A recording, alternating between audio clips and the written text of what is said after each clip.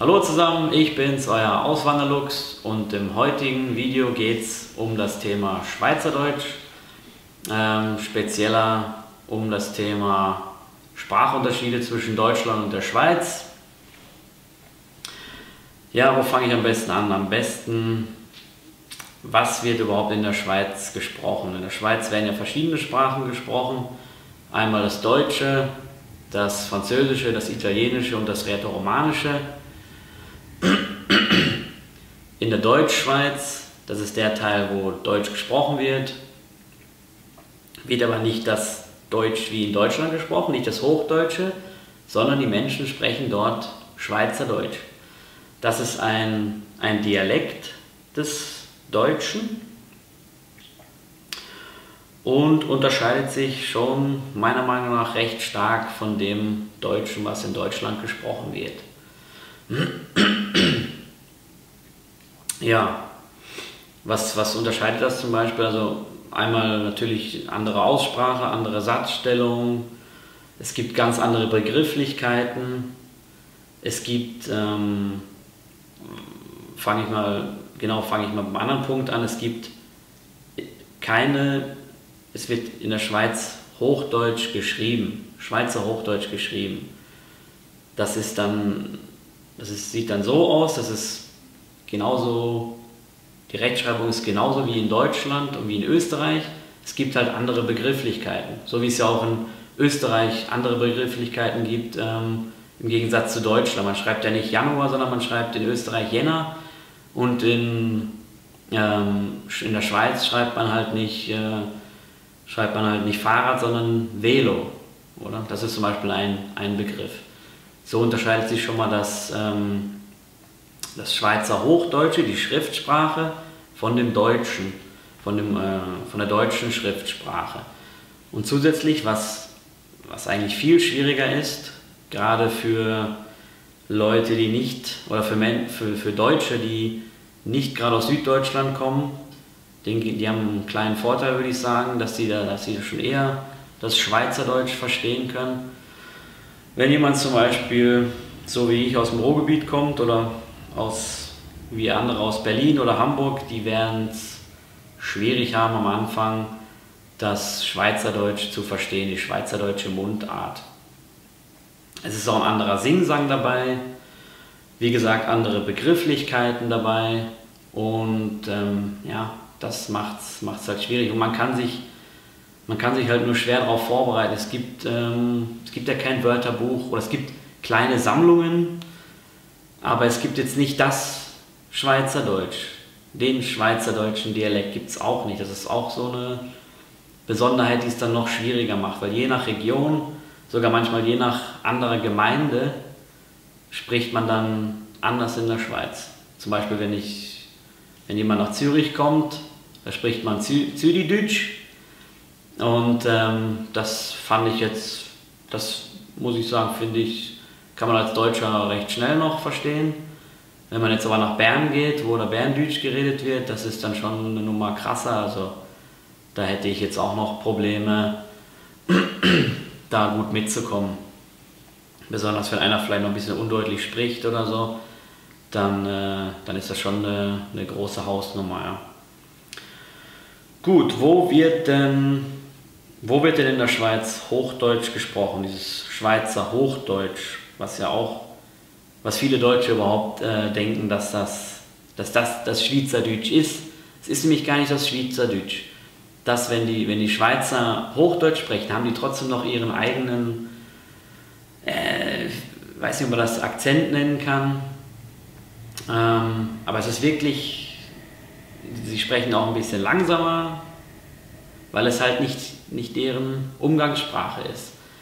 Und ähm, das wird zum Beispiel genutzt in, bei politischen Debatten, bei offiziellen Anlässen oder halt wenn, wenn der Schweizer merkt, oh jetzt spreche ich mit einem deutschen Touristen hier, der, das, der mein Schweizerdeutsch gar nicht versteht, dann wechselt er halt in das Schweizer Hochdeutsch. Und wir denken dann so, hey, ist ja voll easy, oder? das äh, Schweizerdeutsch. Ja. Ah, im Fernsehen, im Fernsehen wird auch noch, ähm, besonders in den großen öffentlichen Fernsehanstalten der Schweiz wird auch noch oft das Schweizer Hochdeutsch gesprochen. In den kleineren regionalen Sendern, da sehe ich auch hin und wieder, ähm, also oft gucke ich nicht fern, aber wenn ich mal fernsehe, dann, äh, dann fällt es mir schon auf, dass da oft auch äh, Dialekt gesprochen wird. Ja. Genau, Betonung. Die Betonung ist noch ein, ein wichtiger Punkt, der das auch noch unterscheidet, was es auch noch mal schwieriger macht. Zum Beispiel sagen, sagen wir in Deutschland ja Büro, in der Schweiz sagt man Büro. Oder in Deutschland sagt man WG und in der Schweiz sagt man WG. Hat man das Wort jetzt, weiß ich gar nicht.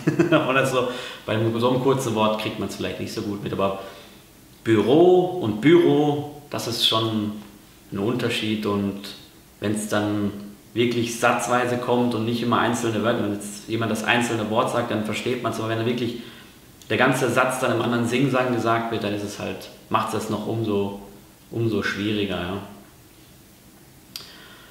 Genau, was auch noch eine kleine lustige Anekdote vielleicht ist, oder keine Anekdote, ist eigentlich so, es passiert immer wieder, dass wenn man mit Schweizern spricht, die dann merken, oh, man kommt aus Deutschland dann, und die kennen einen noch nicht, dann fragen sie erst immer noch, ja, ähm, geht denn Mundart, geht denn das Schweizerdeutsche? Und dann sagt, sagen die Deutschen, die es verstehen, ja, klar, gerne Schweizerdeutsch. Und dann reden sie trotzdem auf Schweizer Hochdeutsch weiter. Also das ist dann auch so, ähm, es wurde mir schon oft gesagt, dass es für Schweizer halt schwierig ist, Schweizerdeutsch zu sprechen, während das Gegenüber Hochdeutsch spricht. Man verfällt dann in das, oder die Schweizer verfallen dann wohl deswegen ähm, wieder in das, in das Hochdeutsche. Äh, in das, genau in das Hochdeutsche, ja. So, ja. Und ähm, genau nochmal zu dem Punkt, dass, die, dass wir Deutschen, wenn wir, die, wenn wir das Schweizerdeutsch noch nicht so kennen, also das Schweizerdeutsch, wenn wir dann in die Schweiz kommen oder vielleicht Schweizer Fernsehen schauen und hören dann den Schweizer Hochdeutsch sprechen mit seinem besonderen Akzent, dann denken wir ja, wie ich vorhin schon mal erwähnt habe, dass, äh, dass das das richtige Schweizerdeutsch ist, so wie die Schweizer sprechen. Ähm, als ich damals meine Freundin kennengelernt habe, ähm, in meinem Blog könnt ihr das ja nachlesen, wie das alles vonstatten gegangen ist. Äh, wir haben am Anfang erst, erst geschrieben, erst per, per ähm, WhatsApp und ja, ich wusste halt nicht, wie Schweizerdeutsch gesprochen wird. Und dann wollte ich, haben wir halt abgemacht zum, für einen Besuch. Wir hatten vorher auch noch nicht miteinander telefoniert. Das wollten wir irgendwie nicht so. Das hat keiner sich getraut so richtig. Und ja, dann haben wir, dann habe ich gedacht, so, jetzt bereite ich mich mal vor, oder? Jetzt äh, schaue ich mal ähm, bei YouTube, schaue ich mal was an auf Schweizerdeutsch. Und das war ein Wetterbericht vom Schweizer Fernsehen und die Frau hat halt das Wetter da erzählt. Und ich so, ja, Ast rein, oder? Ist ja gar kein Problem. Man versteht ja alles super, perfekt. Hat halt einen leichten äh, Akzent, aber ist ja kein Problem. So, wie sich dann natürlich herausgestellt hat, war das das Hochdeutsch, was die Dame gesprochen hat und nicht das Schweizerdeutsch. Als ich dann, ich habe damals ein Hotel gebucht gehabt und als ich dann im Hotel angekommen bin, das war dann der erste Schweizer, mit dem ich in meinem Leben dann Kontakt direkt hatte, persönlich. Hat er mich dann begrüßt und ich habe irgendwie, ich glaube, gar nichts verstanden außer Grezi. Und habe mir nur gedacht, so, ja, keine Ahnung, vielleicht ist das gar kein Schweizer, sondern ist, komm, ist ein Immigrant oder so, der noch nicht so des Deutschen mächtig ist. Und ja, das war aber dann das, das Schweizerdeutsch. Und da habe ich halt im Nachhinein habe ich dann gemerkt, so ja, das ist schon, schon krass für einen, der nicht aus Süddeutschland kommt, ähm, das zu verstehen. Ja. Genau. Und was auch noch ein wichtiger Punkt ist zum Verstehen des Schweizerdeutschen, mm, wenn ich das so sehe an, an Deutschen, die vielleicht schon länger hier sind in der Schweiz, schon viele Jahre und immer noch Probleme haben, das Schweizerdeutsch zu verstehen. Ähm, ja, natürlich gehört auch Talent dazu, eine gewisse Offenheit, das auch verstehen zu wollen.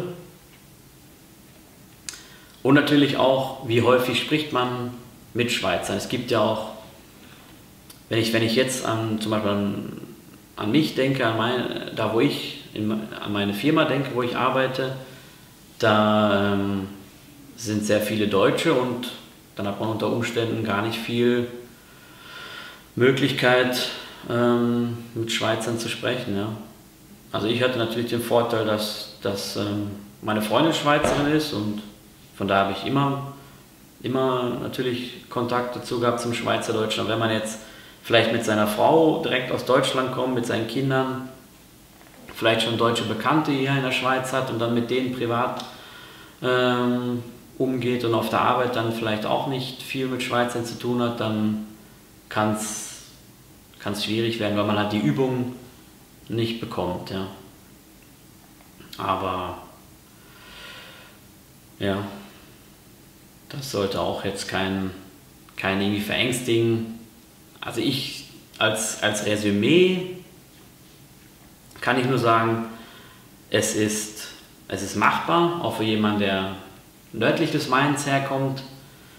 Ähm, es, ist, es dauert zwar eine Zeit, es ist auch am Anfang schwierig. Es ist dann noch schwieriger, wenn man in Gruppengesprächen zusammen ist. Dann raucht einem wirklich irgendwann der Kopf. Selbst wenn man, wenn man jetzt einem, einem wirklich folgen kann, dann, äh, also sowas, das ist auch mal noch eine Geschichte von mir, sowas bei mir. Ähm, wir haben uns abgemacht gehabt mit Freunden, und ich habe meine Freundin schon sehr gut äh, verstanden auf Schweizerdeutsch sprechen. Aber als dann die Gruppe untereinander Schweizerdeutsch gesprochen hat und man sich auf mehrere konzentrieren muss, da habe mir dann, ich glaube nach zwei Stunden, da habe ich dann abgeschaltet, da konnte ich dann nicht mehr zuhören. Ich konnte einfach mich nicht mehr konzentrieren, das war zu anstrengend. Ja. Das ist wie, als wenn man äh, einer Fremdsprache zuhört. Ja. Ähm, ja, Sprache, Sprache bei mir hat sich auch verändert, obwohl ich erst ein bisschen mehr als drei Jahre jetzt hier bin. Ähm, aber ja, ich betone die Wörter auch schon anders. Ich sage auch schon äh, Büro zum Beispiel.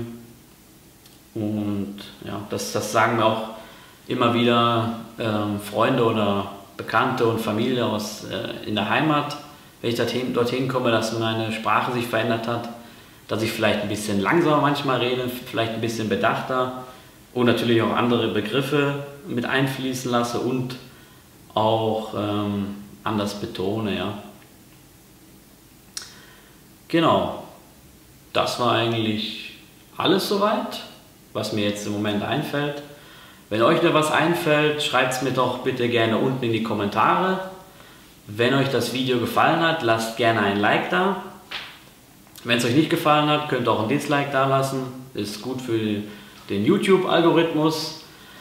Und ähm, ja, dann sehen wir uns im nächsten Video wieder. Und dann verabschiede ich mich. Ciao.